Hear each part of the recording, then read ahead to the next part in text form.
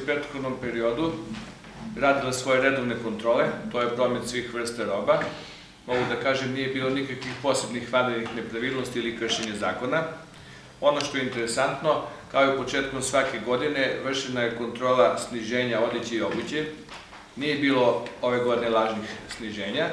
Jedino u dva slučajeva e, je zatečeno da nije istaknut početak sniženja, ali bitno da to nisu lažne sniženja kao što je nekada u prošlosti bilo. Znači, kada vidimo na izlogu objavljeno sniženje, da je u stvari to samo obmana, znači kontrolama su utvrdilo da li je to stvarno sniženje ili jeste i nije bilo ove godine tih lažnih sniženja. Zatim, ono što je interesantno, zadnjih godina se intenzivno kontroliše intelektualna svina, to je zaštita prava intelektualne svine.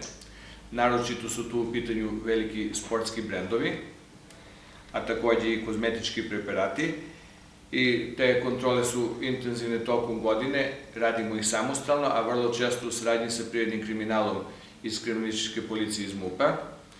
Međutim, pošto su godinama te kontrole zastupljene, sve ređe nalazimo na nepravilnosti i na pojavu tih lažnih e, brendova.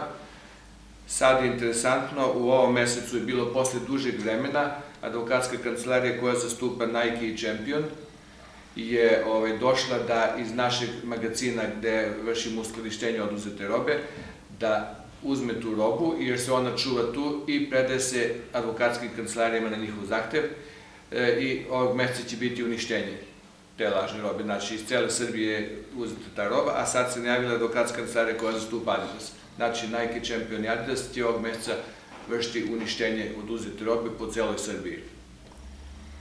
E, takođe, interesantna usaglašenost i bezbednost, usaglašenost sa standardima i propisima Evropske unije. Te kontrole se takođe vrši godinama, u početku je to bila nepoznanica, ali sada posle višegodišnjih kontrola svi subjekti u lancu kontrola, to su maloprodaje, veleprodaje i uvoznici su tačno naučili i saznali koju dokumentaciju treba da nabave i sada je sve to uredno, tako da u prethodnih, možda da kažem čak i nekoliko meseci pa je godinu dana nije bilo nepravilnosti, jer maloprodaje više ne nabavljuju, tu se radi najčešće o beloj, najviše o beloj tehnici i sitnim kujtnim aparatima, zatim e, o električnoj opremi, odući, obući e, zaštitnim, zaštitnoj opremi. Znači, maloprodaje više ne nabavljuju te proizvode bez odgovarati dokumentacije od veleprodaja, a veleprodaje ne nabavljuju te proizvode od uvoznika, tako da sada u lancu svi imaju urednu dokumentaciju.